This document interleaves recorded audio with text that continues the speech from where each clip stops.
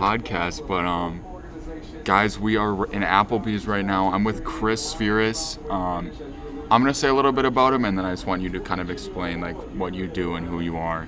So this is Chris Spheeris. Um, he also, is also known as the Delafield tenor. He um, goes around. This is how I know him. He goes around um, in parking lots, and you can ask him for a concert. He's a really nice guy. He has a beautiful voice, and uh, he just sings for like people in the city. It's just nice and calm, and um, he has a really amazing story that we're gonna get to today. So I just wanted to bring Chris here and um, talk about his story. So Chris, just kind of give a little rundown of um, how you got started doing what you do. Like there was that one drive-through story that you were telling me about. Yes, so I have actually been singing seriously since 2007, but I was always kind of private about it. I just did it by myself, and I never had a dream of being wealthy or famous. I just had a dream of meeting people that would appreciate my music, moving people with my music. And literally 10 years after I started, I was working late one night in the McDonald's drive thru They asked me to stay late, and uh, I just got into a spontaneous conversation with these two students that were uh, from Kettle Moraine. They graduated in 20 and uh, I made some comment about what they were listening to on the radio and just mentioned that I was a singer. It was just kind of a spontaneous conversation. You know, everyone was waiting in line and we didn't have a lot of people working, so I wanted to make an effort to talk to people. Right. And uh, one of them said, "Oh, well, can you sing for us?" And I just had didn't really know what to do. I almost I almost said no, but somebody just said, "Do it. What have you got to lose?" And so I sang, and what happened over the next couple of weeks, I I still can't believe. You know, three years later, you know, all these people started following me on Instagram, and people would come through the drive-through, you know, asking me to sing, and it really right there was actually the realization of a dream. You know, yeah. I just meeting people that would appreciate my music, and I, I still can't believe it. Yeah. So after um after that little night, what happened like the next two weeks? I was getting uh, follow requests from a ton of people that knew the two that heard me in the drive-through, mm-hmm. and I would notice people coming through it from Kettle Moraine saying, "Oh, are you the singer? Oh, yeah, I really like your voice. You know, can you sing something?" Yeah. And uh, it, it's just, you know, after years of doing it privately, I had people that were actually following me and supporting me, and it, it felt wonderful. Mm-hmm. So the first time I saw you, I believe was a picture with um, Jeff and Wiz. Uh, I think it was around Summerfest, maybe. Um, so is that what was it like meeting those two? Because that's how I mostly know you from. Jeff and Wiz. Yeah. Well, um, there were so many people that I met. You know, Jeff and Wiz were two people that came not too long after the fact. Wiz, I mm-hmm. actually, the funny thing about Wiz is I had actually talked to him in the drive-through before it was known that I was a singer. So I we already knew each other. Yeah. But he just didn't know that I did what I did. Mm-hmm. And uh, then Jeff, you know, not so long after I ended up quitting McDonald's, actually the following summer, I was just over for a soda and he said hi to me, and I realized he was one of my followers. And yeah. uh, really nice guys and. Uh, you know, one of the, two of the many people that I'm so thankful to have met. So, um, before we talk about how we met, I just want to go like, there's this one story that you have where you like really found out that you um, were a good singer. It was like your seventh grade um, singing teacher, and I just want to let you tell that story because it's like the background of how you like fell in love with singing. Well, it was, um, yeah, I was, I believe I was 13. Yeah, I was 13, and I was in seventh grade and back then we all had to be in choir. There was no choice, mm-hmm. and um, I never really thought much about it. I didn't really take it seriously. I just thought, okay, you know, it's another class I have to take. And one day, we were uh, singing the school anthem actually, and the music teacher was walking around and she looked at me and I was kind of just like moving my mouth, you know, going through the motion. She's like, "Chris, you're not singing." And I thought, "Well, you're right, but uh, you're not supposed to know that." And I and she said, "Do you know the song?" And I said, "Yeah, I do." And she said, "All right, stay after class and sing it for me." And I thought, "Oh, jeez." and um, so everyone left, and I walked over to the piano, and she started to play. And she said, "Okay, sing it for me." And as I was singing, I just felt like this release an emotion that felt really good. And I it just seemed like a natural thing for me. And I was looking away from her. I was really nervous. And I was looking away from her. And then when I finished the song I was kind of like in this you know other world and then I looked I decided to look away from where I was staring and I looked down at her and she was crying Yeah. and she said you have a wonderful gift and a, there's a lot of people in this choir that wish they had a voice like that Mm-hmm. and it's funny because you would think that the next part of the story is well I started singing and that was when it took off but actually I was I was so shy back then that I actually remained quiet for years and it wasn't until my junior year of high school that I really fell in love with it when I was on my own Yeah. So that's a pretty crazy story. Like, did you sing it all before that? Or was that like your first time really trying going like full force? I think that when I was young, I mean, my mom always liked to play, you know, music in the car, and it was always classical style music. Mm-hmm. So I would kind of sing along with that just to myself, but even she didn't really know. Yeah. She, she didn't really know until years later when she actually heard me singing by myself in the bedroom and she knocked on my door and said, Well, it's funny, you know, I've known you for 20 years and I didn't know you had a voice like that. Yeah. So, Wow, that's pretty crazy. So, um, the way that we met, was it? It was just at McDonald's, I think, one night. It was, yeah, I remember it. I walked over and they wouldn't let the lobby was closed. Yeah, that's, was that just when like COVID was starting? It was, it was actually, I think it was in July, if I remember okay. right, because it was right after, it was two weeks after I did like a concert for a ton of people, and I walked back. Yeah, it was a week later, and um, just uh, they wouldn't let anybody in. It was drive-through only, and so I thought, oh, you know. So I was gonna turn around, and then someone, it was your friend and our friend Alex, Yeah. said, oh, hey, Chris.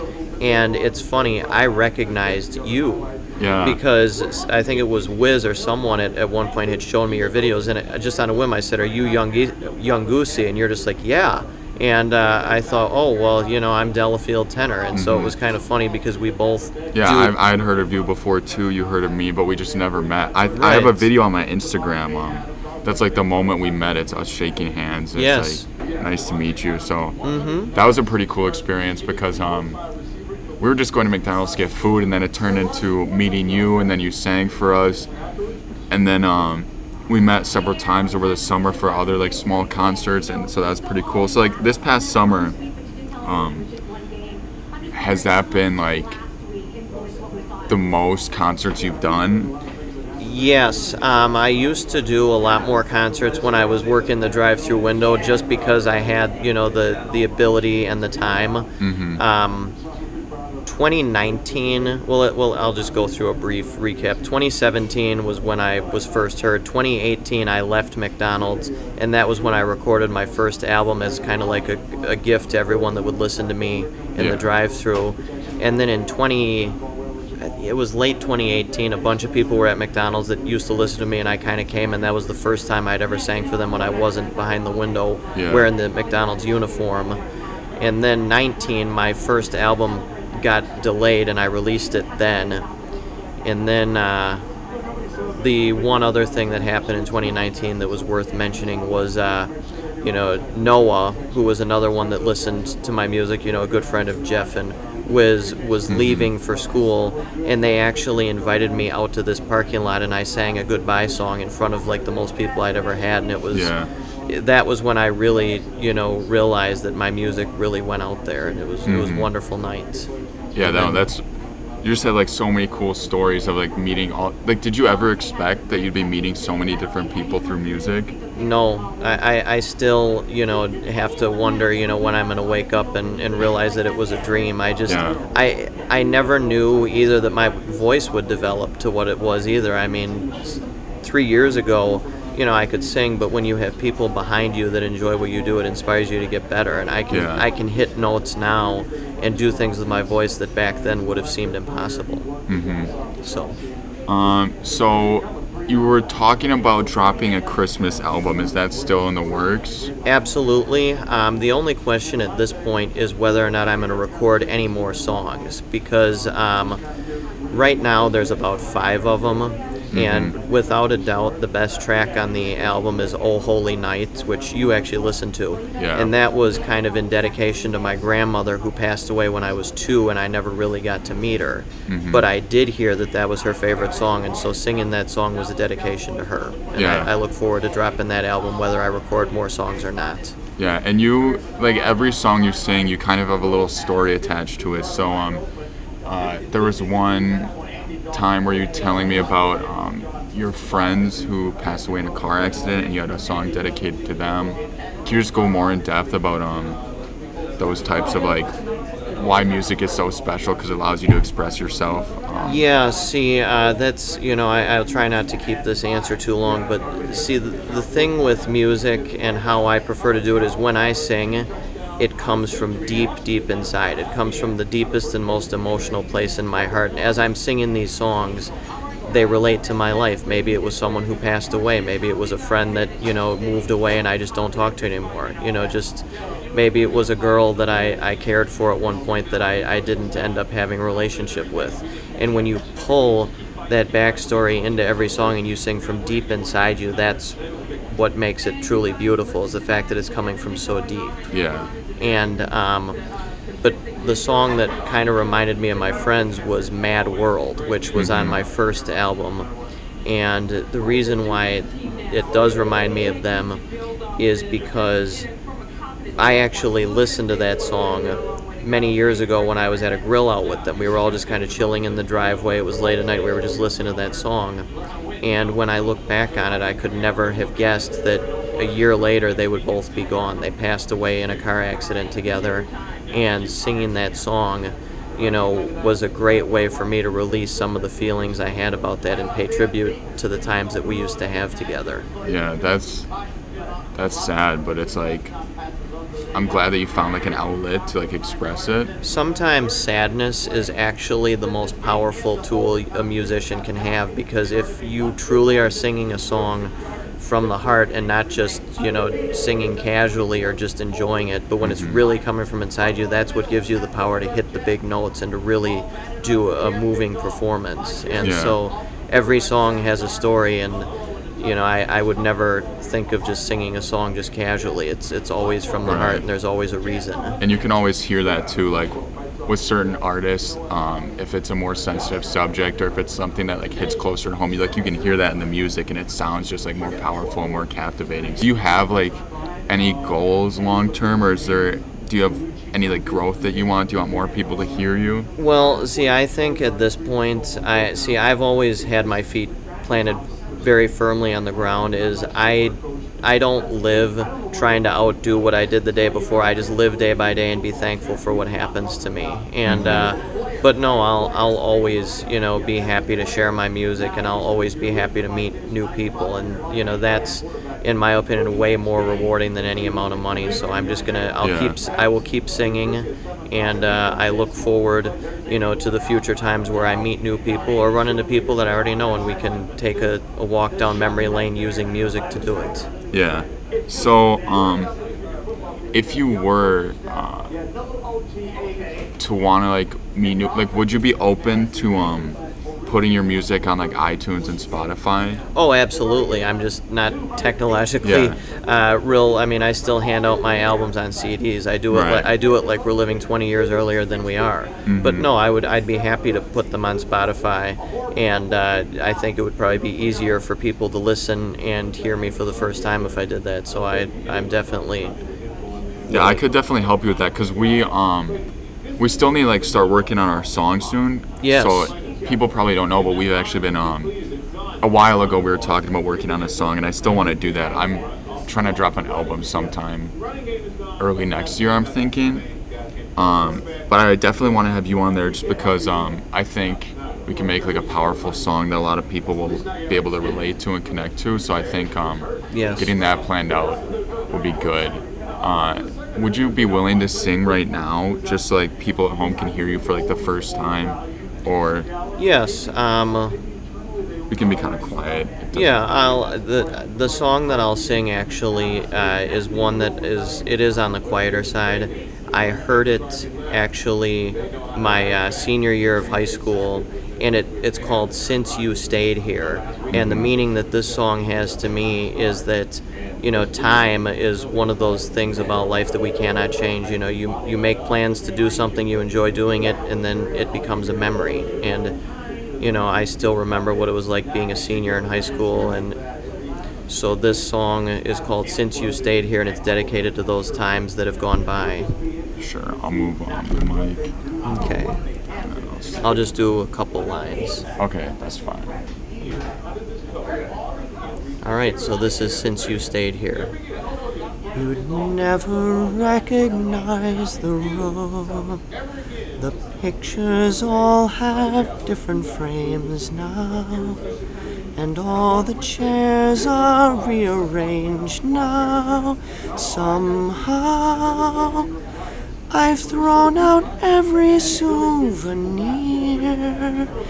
Yes, there've been changes made since you stayed here.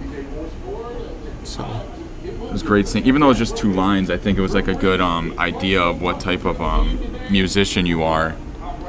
And um, yeah, I'm definitely.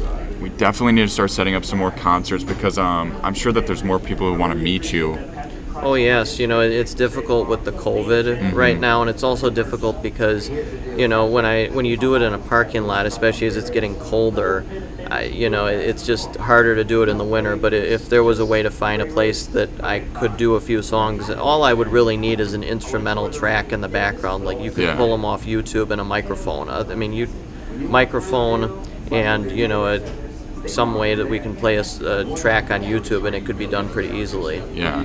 So with this podcast that I want to do, um, I want to just have some like conversations about like life and like um, just like how people are doing in general. So would you consider yourself to be like a happy person?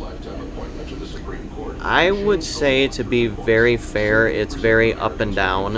Um, you know, with COVID, it's hard to get together with friends. Um, you know, I I would just consider myself a very up and down person. You know, I I would say overall, I have lots of reasons to be thankful. You know, I have lots of people that appreciate my music. I have friends, even though I don't see them maybe as often as I like. My job is good, but uh, yeah, I mean, we all have our struggles, and I'm very open to admit. But you know, again, when you have a struggle and you put the feeling of that struggle behind a song, that's not only a way to help heal yourself, but it's a way to produce a more powerful song than if you didn't. Yeah, no, you just you said that pretty much perfectly. I think like not even with just music, but I think like other people they can apply that to um, anything that they do. So if like they're really passionate about a sport, then they take one of their sadness moments and then they kind of like use that as fuel to Yes. help them get better at whatever they do. And I think um, I would agree with you there. I think I'm pretty up and down. I have a lot of reasons to be thankful, but um, at the end of the day, if you're sad, like you're sad, there's not much. Well, and you know, I, I've always been kind of different, and uh, I'm learning to embrace that as I as I'm older. But you know, my hobbies and what I like to do are a little different. But um, you know, I'm lucky to be doing what I'm doing, and uh, you know, I it just depends on what type of a mood I'm in. I, I think maybe a lot of people go through the type of phase where if they have a bad day, they can't help but think of all the things about their life that they don't like.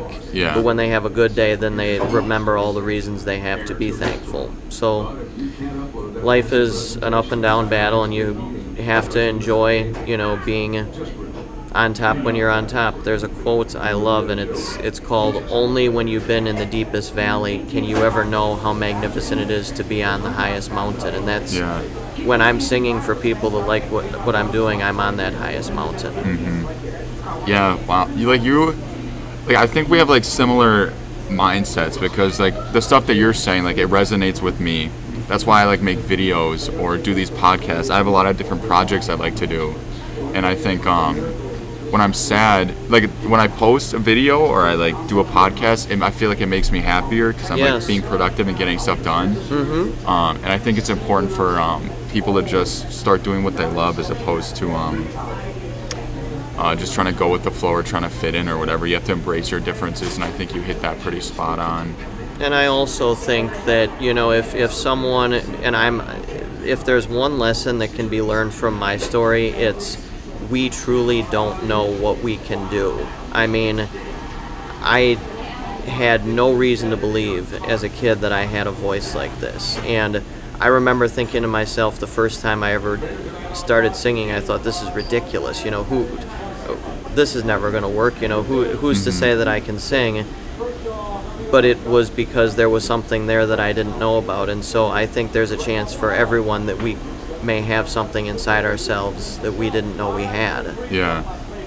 Yeah, and I think your story pretty much represents that like perfectly. Um, with Applebee's, you just called here and got us um, you got us like the okay to like record this podcast. So I know with uh, a lot of other business owners in the area of Delafield, you know them and you're friends with them. So can you tell me like what those type of um, relationships uh, those face to face, like, hey, how are you doing? How important is that for um, someone like you who likes to go to a lot of these places? Oh, it's it's very, you know, it, it means everything. You know, I, I've always said that the little things are the big things. You know, maybe I have a rough day at work and I, I come into Applebee's or whatever and I talk to the manager and it, we can both maybe vent a little bit about how our day is and, you know, mm-hmm. maybe he'll talk about how COVID has been hard, you know, for the business. Maybe I'll talk about how it's hard, you know, working outside when it gets cold.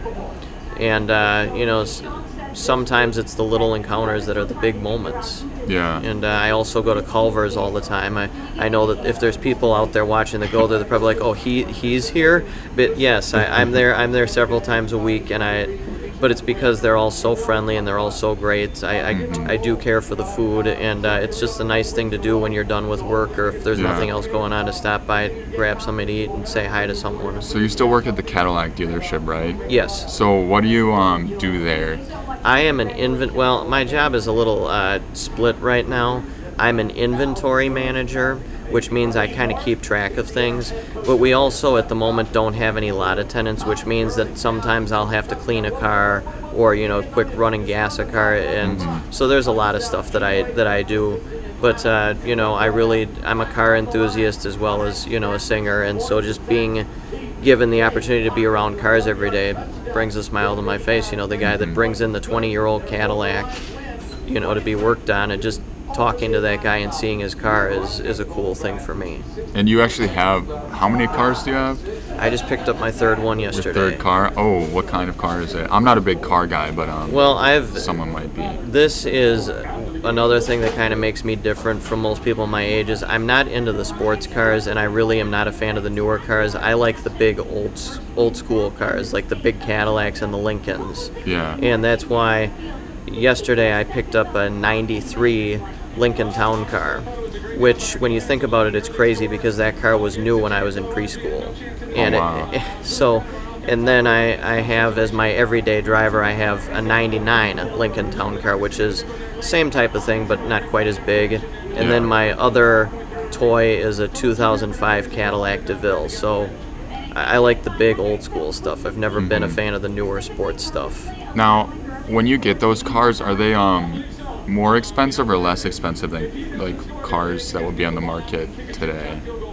Because like they're like seen as collectibles, so I don't know like how it works necessarily because I don't like follow cars that much. See, the funny thing about older cars is that they will either be priced at a collectible level. It really depends. In the same way that some one person would pay ten thousand dollars for for an older car, and another person might say, "Well, I'll give you one thousand dollars." It really depends on who's buying it and who's selling it. You know, yeah. someone might look at you know, my 93 town car is, oh, look at that big old boat, who'd want that? But another person might say, oh, that's really cool, and they don't make anything like that now, that's worth something. Yeah, there's that one quote, it's like one man's trash is another man's treasure, so you just have to find the right people. So have you thought about flipping your cars or trying to sell them for more money? I, you know, I really, for a while I did do that, actually, mm-hmm. but I, I think I've gotten to the point now that I've really gotten three cars that I really like. You know, the Cadillac is a fun toy to take out on nice yeah. days. My 99 Lincoln is a great everyday driver. And uh, my 93 town car is kind of like a tribute to my childhood, and I just take that out on nice days. And so mm-hmm. at this point, I would say I'm content. But you also never know what could come up. I could look Right. on Craigslist tomorrow and say, "Oh, I really want that." Next thing you know, I'm making, you know, some transition or whatever. But Yeah. you know, So um, with like like you have an extensive knowledge about cars, um, a pretty good knowledge about music. You're obviously a musician. Uh, have you ever thought about? So we were just talking about this earlier. Like with COVID, there's more time to like think, work on other things or learn new skills. So have you ever thought about um, learning like more social media and getting on like Instagram or YouTube? And because I feel like you could do a really good job talking about like cars or um, talking about music. The well, I mean, the music is, is something that I already kind of do. Like I post videos on my Instagram, you know, maybe talking about a song or, or talking about something that recently has happened. Like, but what I do a lot on Instagram is I remind the people who follow me, and I know sometimes it gets maybe redundant, but I remind the people who follow me how much I appreciate them. Yeah, no, I always see those posts and it um makes me smile. It's just like it's a reminder that like you're always there. Um, but it's harder for you to grow on Instagram, I think, because you you have like what 86 followers. That's pretty good. Um, but like the only people who would follow you would be um, people who are like in the area or people who are uh, um, meeting you in person usually. Or if someone who's listening to this wants to follow you, what what's your Instagram? Well, my Instagram now is Christopher Spheeris. Um, You know, if you know, we could talk later, and if it would make it easier to change it back to Delafield Tenor, I could do that if it would be easier. But Uh, it's whatever you want to think, like whatever you want to be branded as. Because I mean, like you're more than just a Delafield tenor, but also that's like what most people know you by. So I think you could go either way. yeah, But then, um, with like things like TikTok and YouTube, random people can find that, and then um, you can grow your following that way. So have you ever considered um, starting to post on YouTube? Like I could help you with this if you want. I would. You know, I, w- I would actually, you know, with this with the two albums that I recorded, I think that it would actually be, you know, a pretty good idea to just put the tracks up, if nothing Yeah. else, just so that someone could go to YouTube, click on the video, and just it'll just be a track. But that's all they really need. Mm-hmm. TikTok is something where I have to admit I'm somewhat uneducated, but it, Yeah. to me it just doesn't sound like my type of thing. I like Instagram and YouTube more than I like Snapchat, and Yeah. I and I could be you know wrong on this, but it's just TikTok just doesn't seem like the type of thing because you can use each other's sound if I'm correct on that. Yeah. And I just would rather keep it on an individual level for just listening purposes only. Okay, yeah, I understand that. I was gonna say, um, from like a marketing standpoint, TikTok is really good at reaching new audiences. So you can put like little tags on your videos. So if it's like a music video, you can put like hashtag um, local music, hashtag local musician, and then people who are interested in those subjects will find you more. Um, but I understand like your concern about the sound thing. You don't want people using that for um, the wrong reason or whatever. So I get that. But um, I definitely help you set up a YouTube where you could uh, just post you singing. You could post whatever you want, really. Yes, absolutely. And um, as far as why I don't talk more about cars, it's because you know, as much I could tell you a lot about, you know, what a car is worth and uh, you know about the car. But there are people out there that know way more than I do about it. Like I'm not mechanically inclined. I don't know how to work on them. And so if I was to post videos talking about cars, I really wouldn't be saying anything that hasn't already been said by someone who knows Yeah. more. I just think like in general you're pretty well spoken and like um, you know what you're doing when you're talking. I think so. I think uh, you have definitely have some insight that I think other people would find interesting. Um, but also you could just like pick up your phone and start taking videos and vlog like your day of going to work or whatever. I feel like people will be interested in that too if they um, already like you for your music. So that's just another thought. Like I'm not telling you like you have to do this or anything, and I definitely help you set like something like this up. You know, and it is funny because in all the ways that I am a very open person, you know, I, I prefer to just keep my work business to myself because, you know, Mm-hmm. it's just the, the when you work in a car dealership, it gets crazy, and sometimes, you know, I'll get stressed or I'll disagree with something, Yeah, and, and, and you those just are, don't want another I- thing to think about. no, I mean it's just Yeah. work, work, and uh, I've always, and most people would maybe disagree, but I've always been a believer that work and social life should be two separate things. And work and your own personal hobbies, you know, while they mix, I don't think that you should be, you know, out there telling everybody what you're doing every day with Mm-hmm. Work, because that's, you know, how you make. Right. The, but that's just my opinion. I just No, I you- definitely I respect that 100%. Like um, you're not always going to be open to sharing every moment of your life. Like you need that alone time, or you need that time where you're just focused on like working instead of having to think about other things. So I totally understand that. And I also think it's definitely fair to say that, and this is just, I think maybe everybody, but I know it's me too, is when I'm working, I become another person. Like mm-hmm. the the guy that you would see working at the dealership is not the same guy that would sit down and talk to you about music or sing for you. It's just that's when, you know, my get things done right. side comes out, and I, I don't think that that side is, is something that should be existing any more than in the workplace. Yeah, no, I agree. Like when I'm at work, I used to work at Pick and Save, um, and I'd go in and like some days I just wouldn't want to be there, so I just had to like go through the motions and get stuff done. Yep. And I didn't want to do like like I wanted to go home. That's all I was thinking about was getting home at the end of the day. Mm-hmm. Um, so now I'm like unemployed. I do DoorDash, which is pretty good money. It's just driving oh, around yes. delivering food. Um, but I'm trying to find like more side hustles. That's why I'm starting my podcast.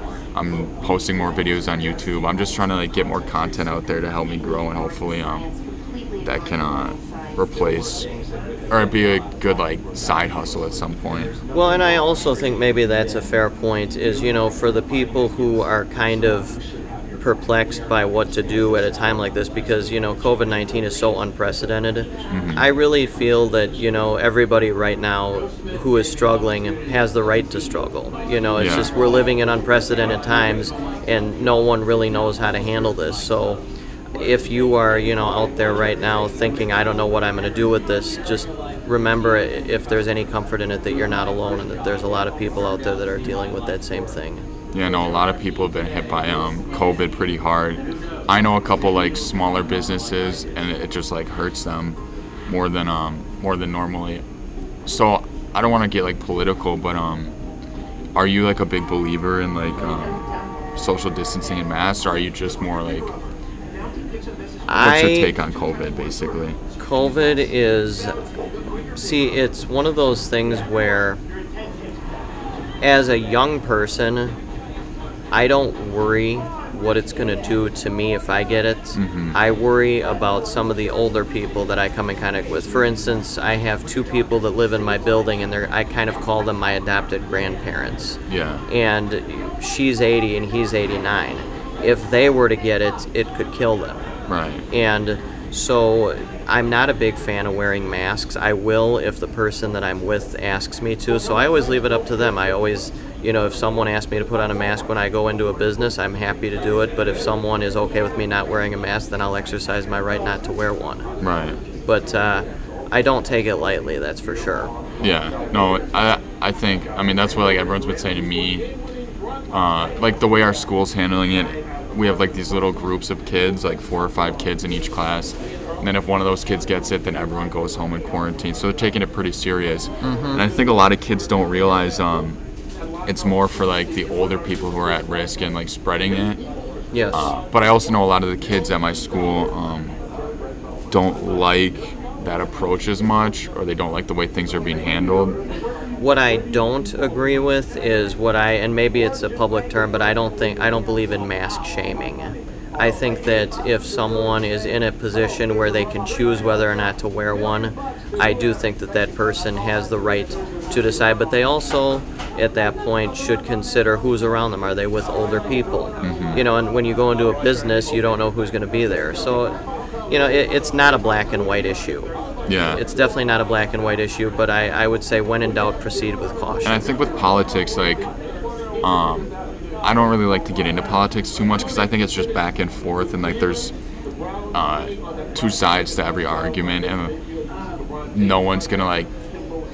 Everyone just loves confirmation bias. Like if you're hearing something that you agree with, then you just are gonna continue to agree with it, and then you don't like um, what the opposing people say. So, politics in general, I think you can apply that to like every situation, like COVID, um, your stance on who you think should be president. I think. Um, either way, there's just two sides to every argument. Well, and I think if there if there's anything about the world right now that I really do have a problem with, it's the fact that people who disagree can't seem to be able to get along. I, I mean, I've seen friendships destroyed mm-hmm. because two people are voting for different candidates. Yeah. And I just, and I've also seen on social media, like if someone posts that they, you know, support someone, and the other person disagrees with them, then a lot of times I see the other person jumping down that person's throat and you know get resorting to personal insults. And I just feel that all of us have a unique story in life. All of us believe what we believe for a reason, and I think that if we disagree on something, that's grounds for an interesting conversation. Not not a debate and not an argument, but just you know why do you believe you know Joe Biden should be president? Why do you believe Donald Trump should be president? And you may learn from each other, but just make make your differences interesting. Yeah, that's what I always say. Like, it's okay to disagree with someone, but then if you go out of your way to harass them for like their opposing view, then it becomes like an issue because um, everybody has the right to believe what they want. Yes, and we all have reasons for why we feel the way we mm-hmm. feel. And I mean, I I personally would rather not go on record and say who I'm voting for, but I will say that there is a lady that I talked to. I met her at McDonald's. She's a really really neat older lady that would come in in the night. And what's cool is she and I are complete ends or opposites on the political spectrum. We mm-hmm. could not disagree more, but we're really good friends and we have some of the most interesting conversations. We never argue, we never try to change each other's minds, and we both go home at the end of the night feeling like we had an interesting conversation, but both still feeling the way we did before. Yeah. And I wish more people would do that. Yeah, I couldn't agree with you more on that. So, would you ever um, consider running for president in the future? Well, it, it's funny you, you say that because um, I, I mean, I am politically active. I do have to say that, and uh, I've always, you know, you mentioned earlier that you thought that you made a, a comment about the way I speak, mm-hmm. and actually, it's because you know, around the same time that I was uh, that I started singing, I also was really impressed by how certain politicians were so well spoken and articulate and so I kind of trained myself to do that a little bit too. So I running for president, I, I personally would probably say no because I, I mean it would it might be fun to do it just to see what people would say, but um, I, I don't I don't know about that. that, I, that that's fun. It's a funny question to think about, but I don't know about that one. I might write you in for president this year after after our conversation, just because I love your ideas well, just I mean, I don't think like in our area. I don't think it really matters who we vote for. So just, just, do me a favor. If you do that, don't tell anyone else you're doing it, because next thing you know, I'll have 30 people doing it, and then there'll be something on the news where who is this, and then I. Oh. And, then, and, then, everyone will listen to your music. It's oh, the well, perfect plan. Yeah, I'll just get up on the television. I'll say I'm not interested in running for president, but I'll sing a song and then I'll walk away. just sing the Star Spangled Banner. You know, I, actually, it's funny. I've posted videos of myself doing that a few times. I mm-hmm. did it on September 11th, actually, and it really meant. A, again, that's another example of how the music is so personal. Is I was in sixth grade on yeah. 9/11, and I'll never forget that day. Like I can remember that day like it just happened. And uh, when I remember the, the tragic events of that day and I sing, you know, our country's anthem, I mean, I I, I tear up. Mm-hmm. But, uh, you know, I would be willing to sing the Star Spangled Banner at like a basketball game or something if yeah. the opportunity presented itself. Uh, yeah, I'm, I might be playing basketball this year, so I'll see if I can talk to someone because I think that would be pretty cool if you came in and did the Star Spangled Banner. Um, now, going back to like being well spoken, I think you're pretty well spoken. I've been trying to work on like my public speaking. Like I have the confidence to go out there and talk to like most people, but as you can just keep hearing, I keep saying like, and um, those little filler words. So, do you have like any uh, advice for public speaking? I would say the best advice I could do for public speaking is find someone that is a great communicator and study them. You know, mm-hmm. just you know what makes them and it, it's the same with like if you were going to be an actor, like what works and what doesn't work. Um, I think two of the greatest communicators I've ever seen, and it, it's interesting because they're both opposites. The two greatest communicators I think I've ever seen were Ronald Reagan and Bill Clinton and they're both very different, both in ideology and style. But you know, Reagan, you know, had a, a, a natural charm about him, and uh, Bill Clinton was a very charismatic speaker. And so, you know, I, I've kind of watched both of those. But I also grew up in a house with a mother that read and she was very, you know, opposed to constantly using the word like and um, and you, you just kind of learn over the years not to do it. So it, Yeah. it's, it's a learned thing, but it, it can be done. So, what do you think the next step is for you? Um, because you're working as a Cadillac dealer, or at the Cadillac dealership, and then you're doing your music stuff.